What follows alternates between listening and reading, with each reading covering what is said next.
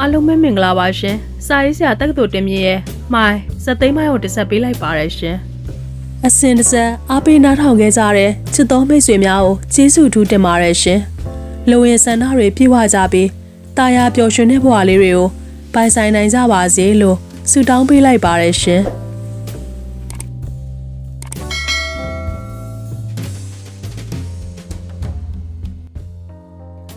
တိုက်တိုက်စဆိုင်လေးဖြစ်သွားတာကလည်းငါ့အတွက်ကံကောင်းနေဆိုပါတော့အဲ့ဒီအချိန်မှာဦးမြတ်မင်းကဝေလူကိုဖြိုပြီးရုပ်ချောပညာတဲ့လူတစ်ယောက်လိုချင်နေမှငါမျက်စီတဲ့ကွက်ကနေမြင်လိုက်တယ်ငါအုံနောက်ကထက်ကနေမင်းကိုစဉ်းစားမိလိုက်တယ်လေမိုင်းဦးဟိုင်လောင်ကကျွန်တော်ကိုမြင်ဘူးတည်ဘူးလို့လားငါပြောပြီးပေါ့မင်းဖေဦးကွန်းစော်နဲ့ငါနဲ့ဟာမိတ်ဆွေတွေပါလို့ဦးကွန်းစော်ကတူရီတော်သားမင်းကိုတော်တော်ချစ်တာပဲငါနဲ့စကားပြောတိုင်းမင်းကြောင့်မြက်ပြောတယ်ပြောပြီဆိုရင်လဲတားဖြစ်တဲ့မိုင်းဟာအရာရာမှာအစွမ်းထက်တဲ့အကြောင်းတွေကြီးပဲ အဲ့ဒါလည်းမကဘူးသူ့အိမ်ထဲမှာအမြဲဆောင်ထားတယ်မင်းရဲ့တပ်ပုံကိုထုတ်ထုတ်ကြည့်တယ်ငါ့ကိုလည်းမင်းတပ်ပုံပြတယ်အော်ဖေဖေရဲ့မိုင်းအန်ဂျေပြီးစိတ်ထဲကတန်းတာမိတယ်။ဦးဟိုင်းလုံကိုလည်းအန်ဂျေရင်စစ်စစ်ကြည့်မိတယ်။ရှင်ထဲမှာဦးဟိုင်းလုံကိုနာကျင်ခံပြင်းလွန်းလာတော့လဲတနက်သုံးလက်ကြားမှာမှိုင်းထပြီးတောင်းချမ်းလိုက်ပါကအချင်းလေးစွန်စားရရောက်သွားမှာကိုလည်းမှိုင်းသတိထားရတယ်ရန်ကုန်မှာဝစ်လုံဦးတန့်စင်ကားနဲ့မင်းမော်တော်ဆိုင်ကယ်တိုက်မိတော့က ဦးတန့်စင်ရဲ့ကားကိုမောင်းတယ်ဒရိုင်ဘာကိုမင်းမှတ်မိလားအဲ့ဒီဒရိုင်ဘာကမင်းကိုထိုးမဲ့ကြည့်မယ်အောင်လှုပ်လိုက်သေးတယ်လေဟဲ့ကောင်များသားမင်းဒီကမျက်မှန်နဲ့အုတ်ထုတ်ကိုချစ်ပြလိုက်စမ်း။ညတောင်းဆိုသူကချက်ပြလိုက်တဲ့မျက်နှာကိုမှိုင်းဟာကြည့်လိုက်တယ်။ဟုတ်ပါအဲ့ဒီတော့ကဝိလုံဦးတန့်စင်ရဲ့ကားကိုမောင်းသူမှန်းမှိုင်းမှတ်မိတယ်အဲ့ဒီကောင်များသားကငါတပည့်လေကွာငါကပဲမြတ်သားကိုဝင်းလုံဦးတန့်စင်စီမှာဘာလို့ရရဝင်လောက်ခိုင်းထားတာဦးတန့်စင်နဲ့ဆက်သွယ်မပြအောင်ငါကတမင်သွင်းထားတာ အင်မတန်ကိုအကွက်စစ်ပါတယ်ဦးဟိုင်းလောဒါပေမဲ့ဦးဟိုင်းလောတို့ကတော့မှားပြီထင်တယ်ဟုတ်လားပြောပါဦးငါဘယ်ကွက်မှားပြီလဲဆိုတာဖေဖေလောက်တကြိုရတော့ကျွန်တော်မမီလိုက်ဘူးကျွန်တော်အဝေးကိုခီးသွားနေတယ်ကျွန်တော်ပြန်ရောက်လာတော့ဖေဖေကိစ္စအတွက်မော်လမြိုင်ရဲစခန်းကိုကျွန်တော်သွားတယ်ကျွန်တော်တော်ရဲကြီးတွေပေးလိုက်တယ်အေးဟုတ်ပြီမိုင်းဟုတ်ပြီအခုငါလိုချင်တာလဲအဲ့ဒီတော်ရပဲကွာအဲ့ဒီတော်ရကဘာတောင်းကြတော့လဲဥဟိုင်လို့အဲ့ဒီတော်ရတွေကတော့နေပဲဟောဟောမိကန်တရာကိုကျွန်တော်ဖွင့်တာငွေတစ်သောင်းကလွယ်ပြီးဘာမှမရှိဘူးမတွေ့ဘူး ဒါကြောင့်မိကန်တရာကိုတော့ကျွန်တော်ပြန်မပိတ်တော့ပဲဟောင်းလုံးထားတာသာကြည့်တော့အဲ့ဒီတော်တွေငါ့ကိုပေးပါမိုင်းမိကန်တရာဖွင့်ပြီးတရားနဲ့တအုပ်ကလွယ်ပြီးတခြားဘာပစ္စည်းမှမရှိလို့ကျွန်တော်စိတ်ပေါက်ပေါက်နဲ့တော်ရဲကိုလွတ်ပစ်လိုက်တယ်မင်းတကယ်ပြောနေတာလားမိုင်းတကယ်ပြောနေတာပေါ့ဗျာအခုကျွန်တော်တက်တက်ဆရာမွဲသွားပြီအဲ့ဒီတော်ရကြီးဘာလို့အောင်မလဲ။ဦးဟိုင်းလုံကယုံကြည်ပုံမရသူ့တနက်ကိုမှတ်ခနဲထောင်ပြီးမှိုင်းကိုချိန်တယ်ငါအဲ့ဒီတော်ရဲကိုလိုချင်တယ်မတော်ရဲကိုမင်းဘာမှလွတ်ပြစ်တယ်လဲ မင်းလွတ်ပြစ်တဲ့နေရာငါမြေလံပြီးရှာမယ်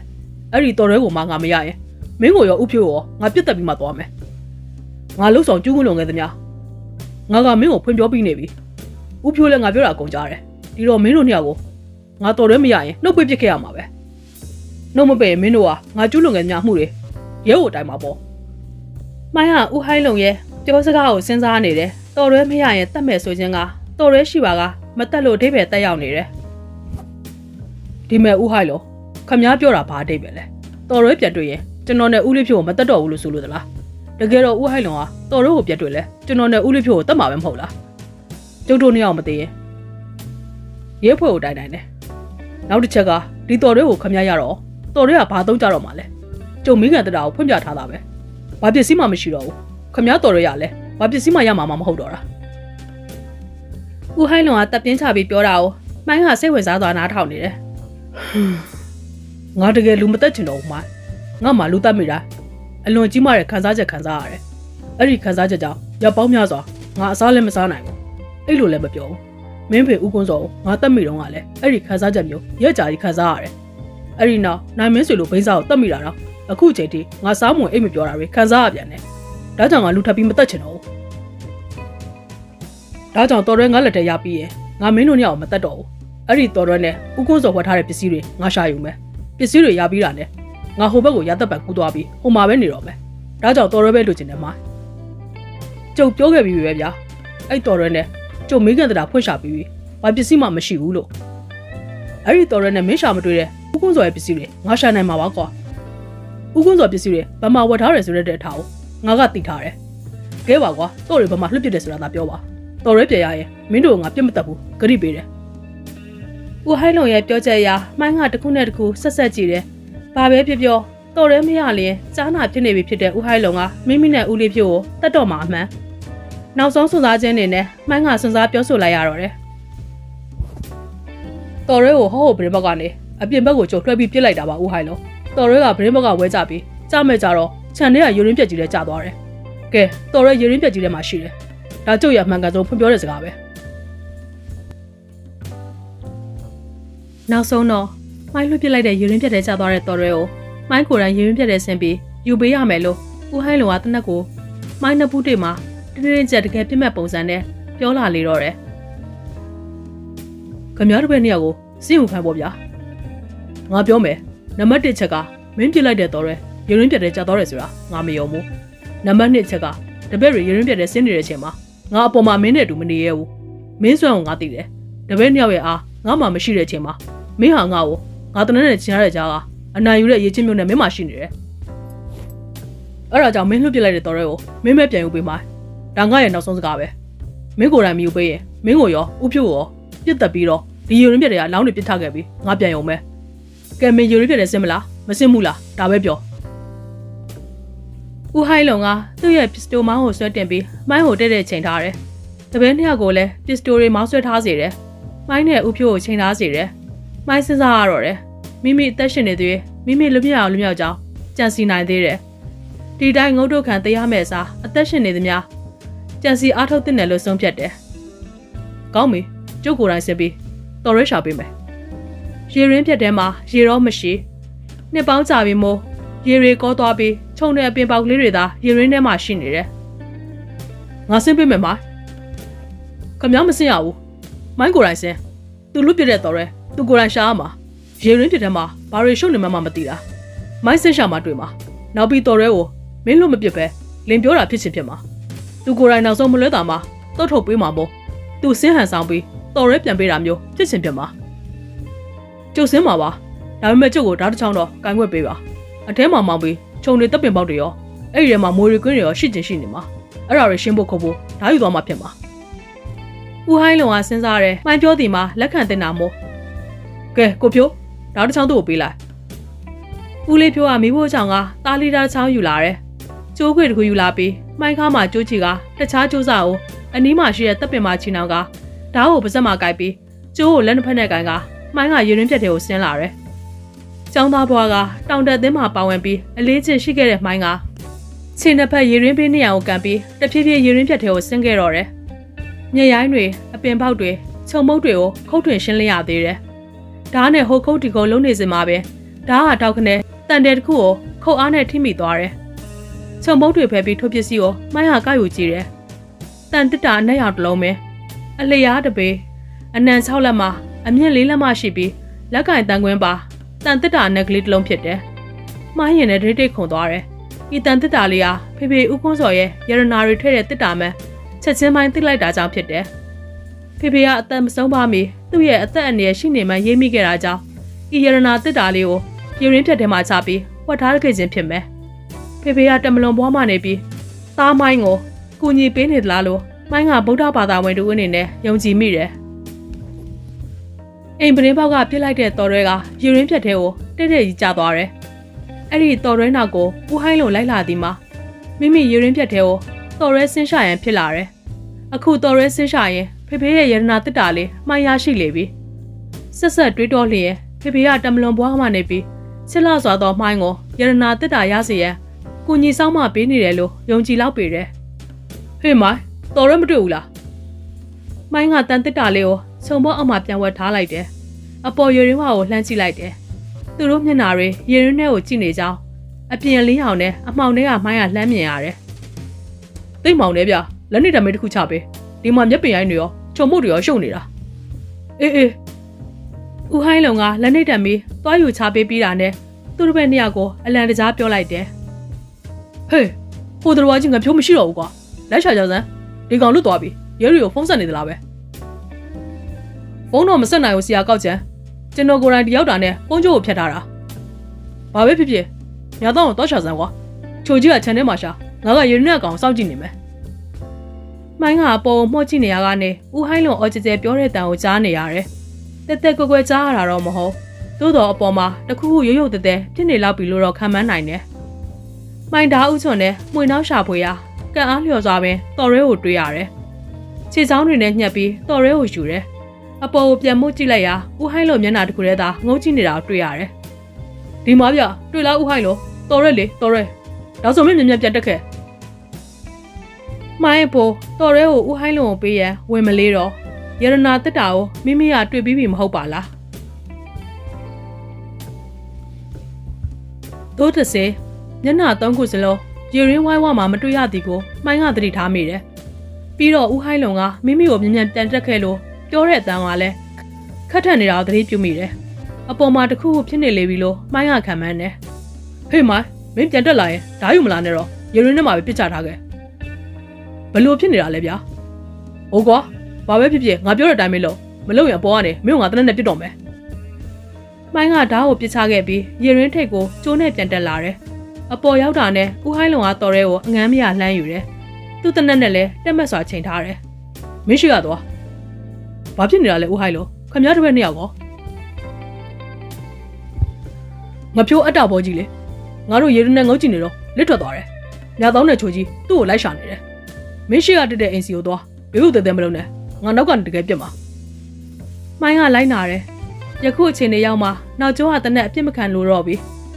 ညသားကိုတွေ့တယ်ညသားလက်မောင်းတစ်ဖက်မှာညတစင်စိုက်လျက်တန်းလန်းကြီးတွေ့ရတယ်ဟိုကောင်ကြီးငပြိုးကြီးလေဒူးလေးနဲ့လှမ်းပစ်တာဘယ်နေရာကနေလှမ်းပစ်မှန်းတော့မသိဘူးဒါဆိုချိုးကြီးကမြသားချိုးကြီးလည်းဒူးလေးစာမိသွားပြီလားမသိဘူးကဲအိမ်ပေါ်သားရောက်တယ်ငါနောက်ကိုလိုက်ခဲ့မိုင်းကိုရှေ့ဟာ ဒိုင်းသဘောထားရင်ဒီငါပြောထပ်ပြီးပြစ်တော့မှာမဟုတ်ပါဘူးအိမ်ဝင်တကားစီကိုရောက်လာတယ်ဟိုင်ချိုကြီးကိုအိမ်တကားဝမှာမှောက်လျက်သားကြီးတွေ့ရပြန်တယ်ချိုကြီးရဲ့ကြောမှာညတလန်ကြီးစိုက်နေတယ်မိုင်းပြုံးလိုက်တယ်ဦးလေးဖြိုးကခွေးကြီးတိုက်ကားနဲ့သူ့ပိုင်ဒူးလေးကိုတိတ်အားထားသူဖြစ်တယ်သူ့တိုက်ကားကြီးအတွက်ဦးလေးဖြိုးကစက်တနလက်စားချင်နေပြီပြီဤရွှေတောင်ကြားလန့်အိမ်နဲ့ခြံစည်းမှာဦးလေးဖြိုးကနှစ်ပေါင်းများစွာနေကြလာသူမို့ ဘယ်နေရာမှာဘာတက်ပင်ရှိတာကအစားနောချင်အောင်တည်ထားသူဖြစ်တယ်။ဒါကြောင့်မြတောင်းတဲ့ချိုကြီးညပြစ်ချင်းခံရသည်ကဦးလေးဖြိုးပင်နေရာကလှမ်းပြမှန်းမသိကြပဲ။သို့တော်မိုင်းကိုရှေ့ရတိုင်းသပွဲခံထားတာကြောင့်ဦးလေးဖြိုးဒူးလေးဆက်ပြီးမပြစ်တာတော့ပုံရတယ်။မိုင်းကိုဝင်ကြရန်ဦးလေးဖြိုးအိမ်ထဲကိုအတင်းဝင်လာမှာပဲမိုင်းကစိုးရင်ရပြန်တယ်။ညတောင်းတဲ့ချိုကြီးညကိုစီမှန်ထားတော်လဲသူတို့လက်ထဲမှာတနက်ကိုစီရှင်မြဲရှိနေတာကြောင့်ဦးလေးဖြိုးကိုတွေ့တာနဲ့တနက်နဲ့ပြစ်မှာမိုင်းဟာစိုးရင်နဲ့ မိုင်းဖို့ထပ်မံအံ့ဩစရာတခုတွေ့ရပြန်တယ်။ရွှေတောင်ကြားလန်းအိမ်မှာမိုင်းမင်မသိတဲ့လှုပ်ဝက်ချက်ကိုဦးဟိုင်းလုံကသိနေလို့အံ့ဩရလေတယ်။ထမင်းစားခန်းကိုဦးဟိုင်းလုံကဥဆောင်ဝင်သွားပြီးနေရမှာကတ်ထားတဲ့လူတရက်ခန့်မြင့်တဲ့ရေခဲတတာကိုဘေးကိုတွန်းရှိလိုက်တယ်။အပါရေခဲတတာနဲ့꿰နေတဲ့နေရံကိုထွင်းဖောက်ပြီးနောက်ထပ်မိခန့်တတာတစ်လုံးနေရံနဲ့မြုပ်သွင်းထားတာကိုတွေ့ရတယ်။မိခန့်တတာကအုံးနေရံနဲ့တပြေးညီရှိနေပြီတဲ့။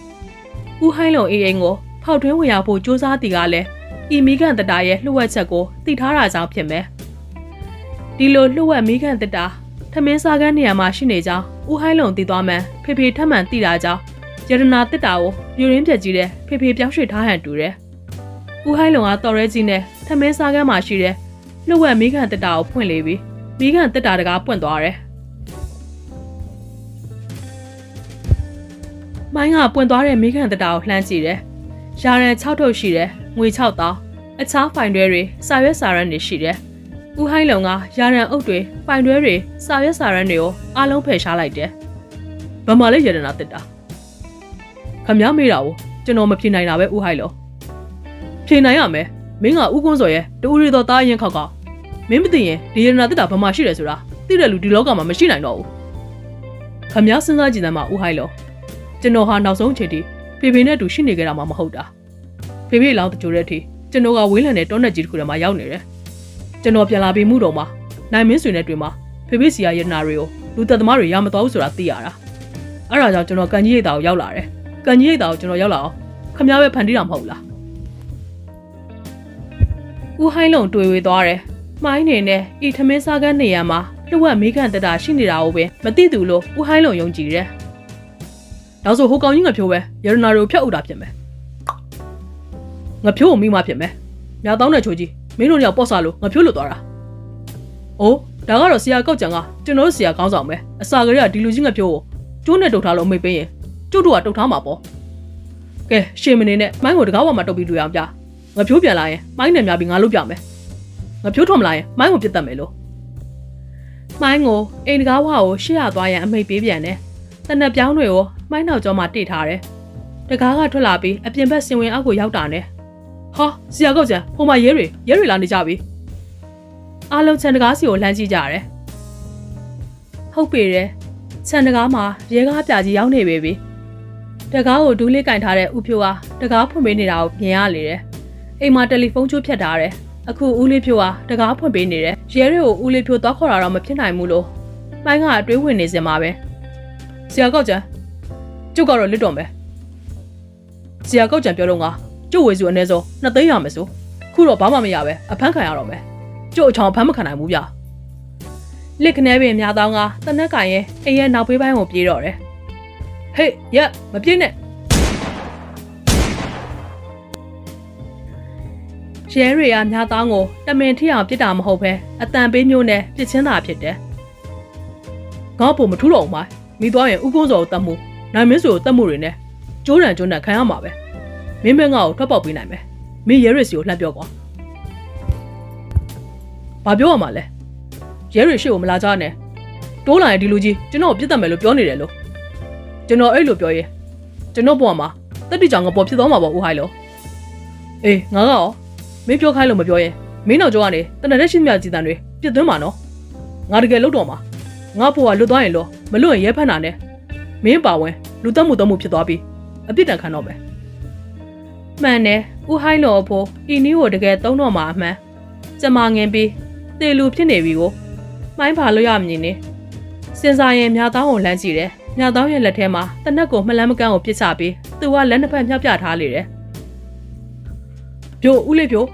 ဦးဟိုင်းလုံကြီးကပြောနေတယ်ကျွန်တော်အသက်ရှင်လျက်သားထားမယ်ဆိုရင်ခမ ्या ကရဲဖွဲ့ကိုသူ့ကိုမဖမ်းဖို့ပြောပေး မိုင်းကိုမရှင်ပါနဲ့လေမိုင်းကဒီလိုအော်ပြောနေတာကိုဦးဟိုင်းလုံခေါ်ဦးကောက်ချစ်ကအာယုံဆိုင်နားထောင်ပြီးအာယုံပြောင်းသွားတာကိုသိတာနဲ့မိုင်းကစွန့်စားမှုတရက်ပြုတော့တယ်မြေပြင်ကိုဖြတ်ခနဲ့အာရမှောက်လိုက်တာနဲ့ခန္ဓာကိုယ်တစ်ပတ်လှိမ့်ပြီးညသောင်းအပြစ်ချထားတဲ့တနက်စီကိုလှိမ့်သွားတယ်ဦးကောက်ကြံကထိုးချိန်ထိုးချိန်နဲ့လိုက်ချိန်နဲ့နောက်ဆုံးဒိုင်းဒိုင်းဆိုတဲ့တနက်တန်တစ်ချက်ထွက်လာစေကမူအာကနေအော်တန်မှာဦးကောက်ကြံရဲ့နှုတ်ကနာကျင်စွာအော်လိုက်တဲ့အတန်ဖြစ်ပေတော့တယ် တကယ်တော့ဦးကောက်ကြံမှာမိုင်းဟိုတစ်ချက်မပစ်လိုက်ရလိမ့်နေတဲ့ဘောလုံးကိုလှမ်းပစ်ရတဲ့နဲ့တနက်ချိန်နေစမှာပဲရဲဘွက်ကလှမ်းပစ်တဲ့ကြီးစံကဦးကောက်ကြံရဲ့တနက်ကင်လက်မကိုထိသွားတယ်မိုင်းကမြတောင်းရဲ့တနက်ကိုယူကပစ်လိုက်တာကပက်လက်နေထားကနေပစ်တာမို့ဦးကောက်ကြံရဲ့ပခုံးကိုထိမှန်သွားတယ်ဦးကောက်ကြံစားလပန်ရမ်းသွားပြီးလက်ထက်ကတနက်လွတ်စင်သွားတော့တယ်ရဲဖွဲ့တွေဝင်ရောက်လာတယ်ရဲအုပ်ခေါင်းဆောင်ပြီးရဲချက်ရဲသားတွေပါလာတယ်ဦးဟိုင်းလုံခေါ်ဦးကောက်ကြံနဲ့ညာသားကိုလက်ထိတ်ခတ်လိုက်တယ် ဦးကောက်ကြံကိုအချုံနဲ့စင်းဟုံကိုပို့စေပြီးတဲ့နောက်မိုင်းလက်ထက်ကမြတောင်းရဲ့တနက်ချိုကြီးရဲ့တနက်တို့ကိုတင်းယူနေစဉ်ကျွန်တော်အံ့ဩနေတယ်ရဲဖွဲ့ရချင်းပြီးဘလို့တီးပြီးရောက်လာတယ်လဲလို့မိုင်းကမေးတယ်ကျွန်တော်တို့ရဲတပ်ဖွဲ့ကိုမူးတုံရဲစခန်းကလက်ဆက်တယ်လေရန်ကုန်ရွှေတောင်ကြားလန်က